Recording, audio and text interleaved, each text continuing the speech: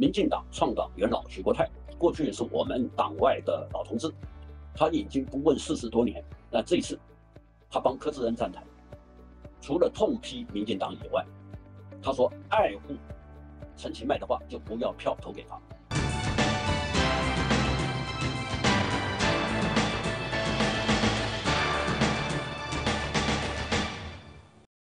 各位观众，大家好，我是有话直说的主讲员张有华。民进党创党元老许国泰，过去是我们党外的老同志，他已经不问世事多年。那这一次，他帮柯志恩站台，除了痛批民进党以外，他说爱护陈其迈的话，就不要票投给他。那甚至于，民进党的芙蓉王这个人名字叫做王世坚，他也讲，哎，我在视频跟网络文章我都写了，我也说了啊，票投四亿元，市长随便投。这个我在视频上面，我老早我就讲了，这个就是民进党基层市议员的声音，包含创党元老，包含王世坚。你看王世坚讲说他他要票投给黄珊珊，他还没有明白的讲，就受到了一四五零的出征，就是民进党侧翼的出征。那现在王世坚痛骂民进党，那陈时中说要不要我要不要王世坚这一票是无所谓的，不会哈，不会定输赢。那从这个地方你可以看得出来。民进党败相遗漏，为什么？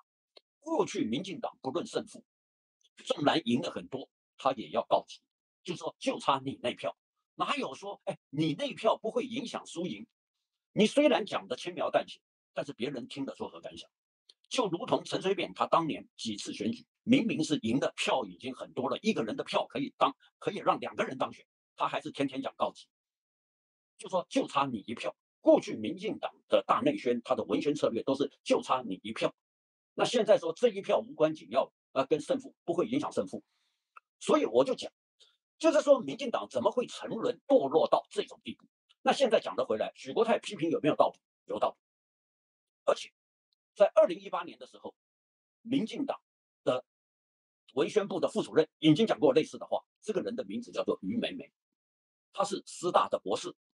他曾经在二零一八年选后，他在电视上面公开的讲，他说：“蔡英文，求求你放过民进党，不要折腾绿营选民。”那这次的现象也完全的出现，很多创党元老通通站出来讲，就是说蔡英文，你放过民进党。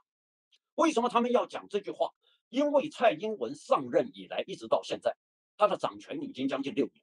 第一个，他没收了民进党的初选；第二个，就全部指定。就是说，所有参战的人选都是出自英系的指定。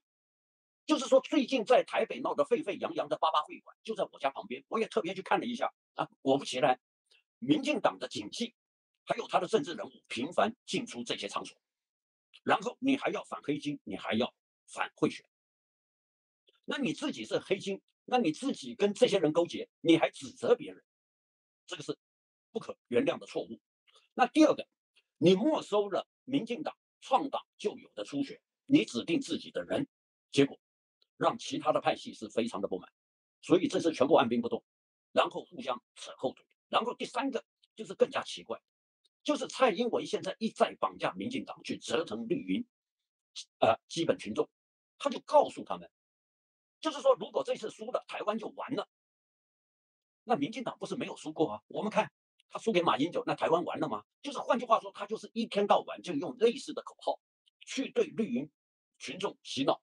过去绿营群众的投票自主率很高，就是说他们知道为什么要支持民进党。可是今天的民进党，看看民进党提名的是哪一些货色，然后我们回过头来讲，就是说这些创党元老，他们为什么现在都站出来？二零一八年不站出来，现在为什么通通站出来？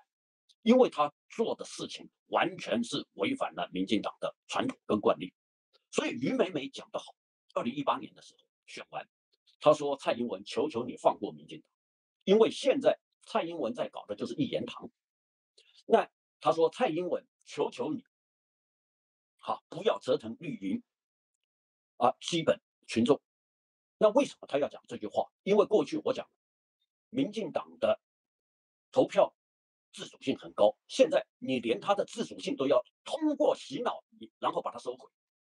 就是说，未来的民进党一旦是国民党化，未来的民进党现在都用国民党的打法，未来的民进党失败以后，没有人承担政治责任，这个不服民进党的惯例。那我们现在讲，为什么这一些老党外、创党党员都要一一出来讲？他们现在就是怕，万一输了，蔡英文不认账，就跟特朗普一样的不认账。他是完全不持党主席的时候，他还想掌控权力的时候，那请问民进党要去要何去何从？这个就是说，今天民进党他选败，并不足为奇，但是今天民进党选败而不检讨，他也不下台的时候，这个时候的民进党该何去何从？这是我们。老党外，还有包含于美美他们忧心的原因。如果蔡英文死不下台的话，民进党还有生路吗？这个是他们考量的重点。